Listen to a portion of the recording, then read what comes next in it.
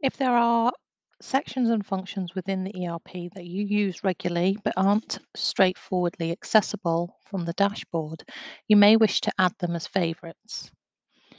If you go into the function, so for this, I'm going to go into reports and find total absence per resource report.